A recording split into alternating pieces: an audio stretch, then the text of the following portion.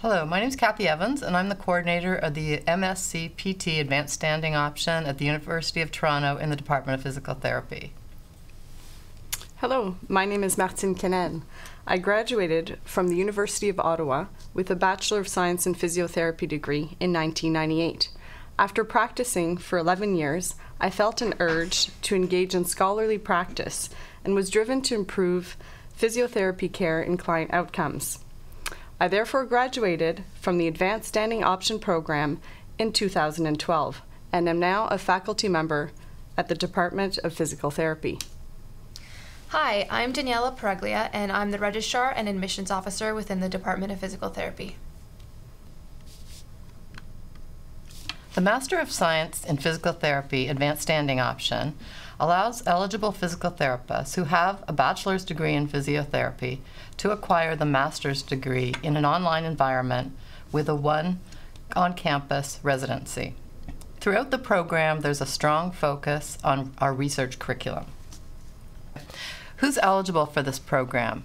You may be eligible if you're a physical therapist who has successfully completed the Canadian National Physiotherapy Competency Exam, and you are licensed for independent practice in Canada with a provincial regulating body, such as the College of Physiotherapists of Ontario.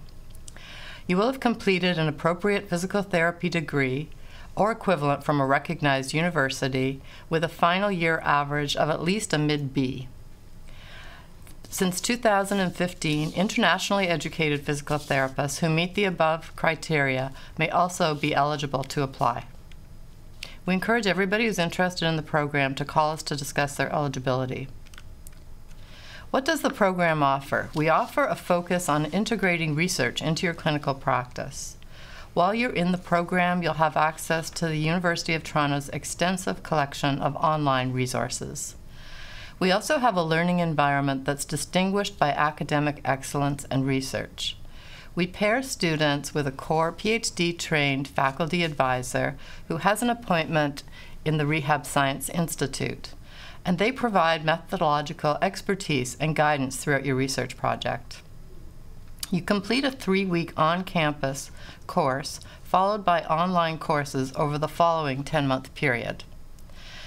This culminates in a research project which provides you with a manuscript ready for publication and a poster presentation that you present at an annual Department of Physical Therapy Student Research Day.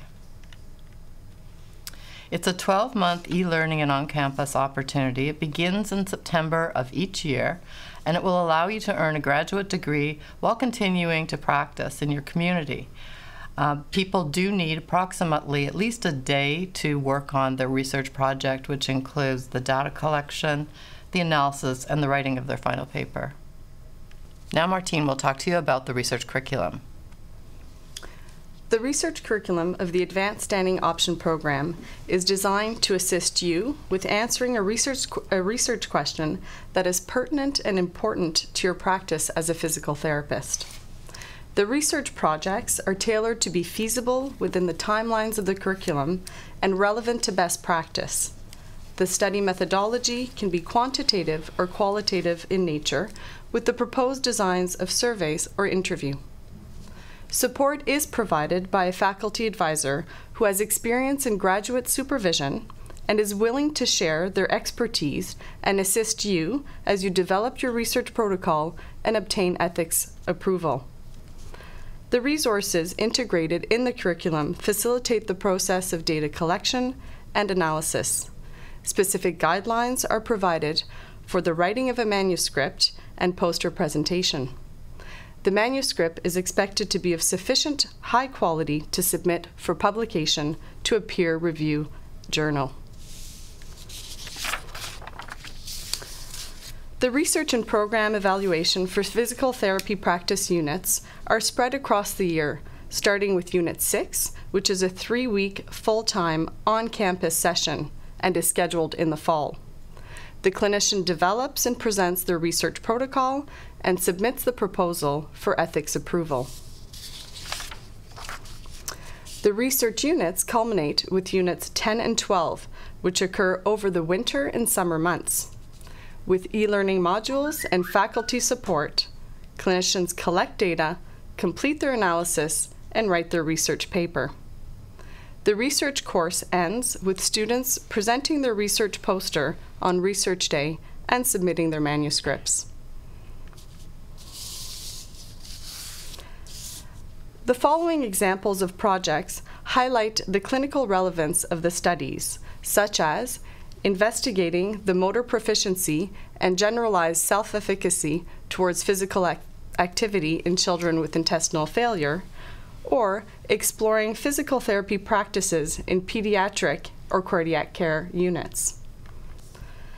Advanced Standing Option students are also required to take a graduate level elective from the plethora of exceptional courses available at the University of Toronto. Students must request permission to enroll in the course from both the Department of Physical Therapy and the department offering the desired elective. The course is an excellent way to broaden and enrich your professional development. I can attest to the richness of the elective having taken a health behavior change course offered by the School of Public Health. Not only was I able to expand my network and collaborate with professionals from various disciplines, the course was applicable to my practice and patient care.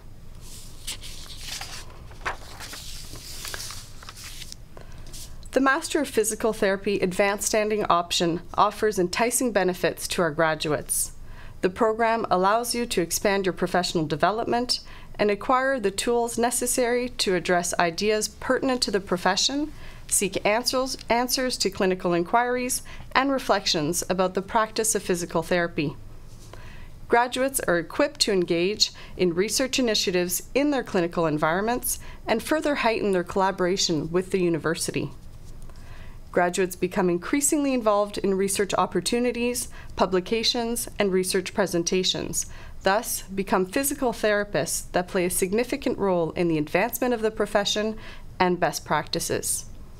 The master degree also expands your professional opportunities, as our graduates possess qualifications that are often necessary to obtain leadership roles, such as those required for advanced practice, academic settings, or managerial positions. The Advanced Standing Option Program is perceived as a valuable and enriching opportunity. Graduates report the experience being great and challenging, yet one that valued and respected their clinical expertise. The program is definitely deemed as a worthwhile experience. Daniela will now discuss the application process.